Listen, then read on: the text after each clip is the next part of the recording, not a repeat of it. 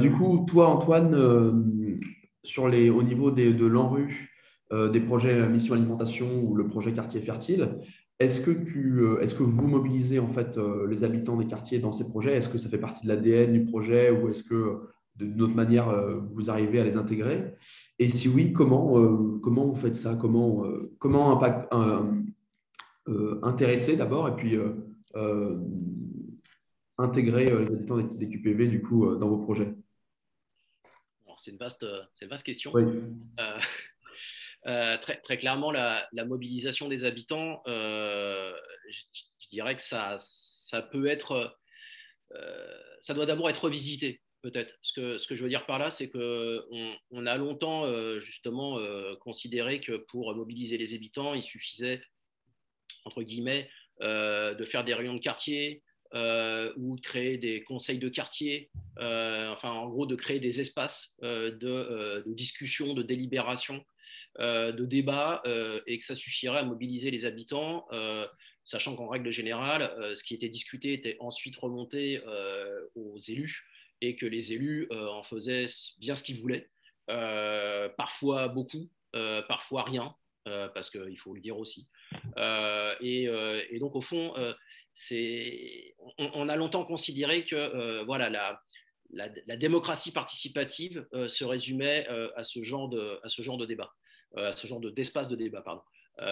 et évidemment, on s'est très vite aperçu, enfin on s'est très vite, au fur et à mesure, on a compris toutes les failles euh, qu'il pouvait y avoir. Et surtout, euh, au-delà de la compréhension des failles, euh, les habitants ont eux-mêmes fait comprendre que ce n'était pas suffisant et que donc il était temps peut-être aussi de repartir de leurs propres besoins et surtout peut-être aussi de leur laisser une certaine marge d'autonomie, je dirais, et en tous les cas de pouvoir décider pour eux-mêmes et pour leur quartier sans leur imposer des décisions ou des actions qui viennent d'en haut.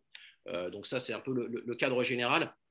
Et je dirais que l'agriculture urbaine, puisque c'est aussi quand même euh, un, de mes sujets, hein, euh, l'agriculture urbaine de, ce point de vue-là, elle a permis peut-être, je parlerai pour les quartiers populaires notamment, à travers des, décennies hein, de, politique urbaine et de rénovation urbaine, démarrées notamment donc avec l'Agence nationale de rénovation urbaine qui a été créée en, 2003 avec, Jean-Louis Borloo, euh, donc maintenant, on a un petit peu de recul, hein, on a une vingtaine d'années de, recul.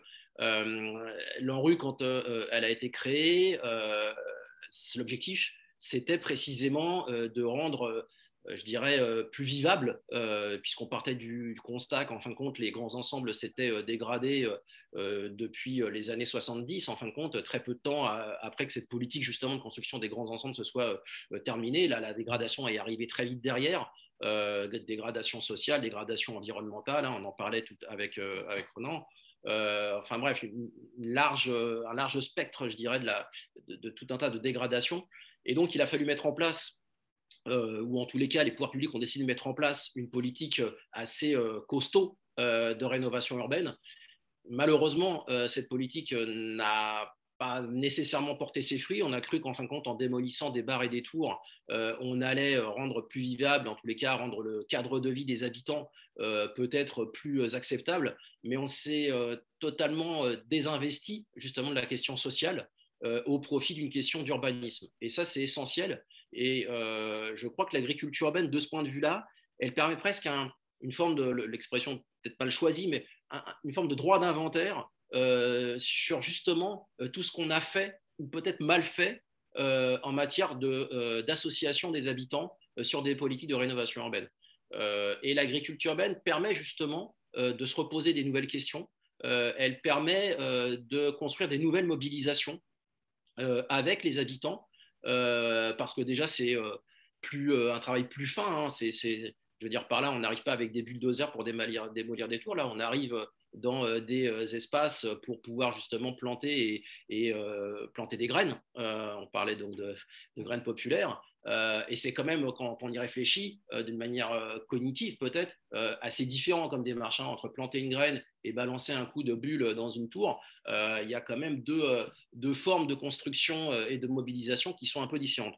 Donc voilà, moi je pense que en termes de, de comment dire, de de nouveaux paradigmes pour mobiliser les habitants. de ce point de vue-là, l'agriculture urbaine, dans les quartiers populaires notamment, mais aussi dans d'autres quartiers, hein, est un levier extrêmement intéressant. Alors évidemment, elle n'est pas en soi l'alpha et l'oméga d'une politique urbaine et d'une politique sociale. Hein. C'est un dispositif parmi d'autres, c'est une boîte à outils parmi d'autres, mais elle, permet vraiment euh, effectivement d'avoir un autre regard. Et puis en plus, elle permet d'embrasser euh, tout un tas d'autres sujets euh, au-delà même donc de l'acte de planter et de l'acte de mobilisation quand euh, un groupe effectivement est mobilisé euh, pour mettre en place un jardin partagé ou un jardin quel qu'il soit, ben, on s'intéresse à la question alimentaire, hein, évidemment, c'est quand même aussi un peu la base, hein. on ne peut pas dissocier la question agricole de la question alimentaire, et puis elle permet aussi de se poser des questions autour de la santé, autour du social, autour du mieux vivre. Donc voilà, il y, a cette construction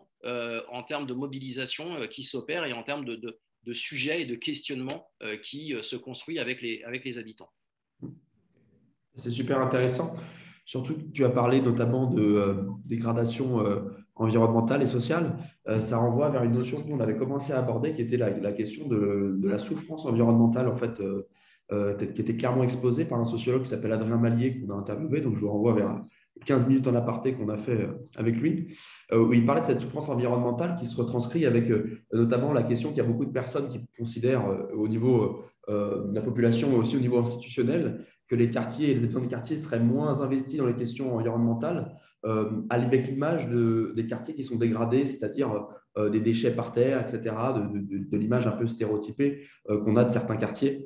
Et en fait, Adrien Mali expliquait justement que ça, c'est plutôt la, retranscription d'une souffrance environnementale euh, qui est témoignée euh, par les habitants des quartiers, qui, de par leur mode de vie, vous avez un peu discuté euh, tout à l'heure, tous les deux, plus économiques, adoptent en fait des comportements plus écologiques que la moyenne de la population.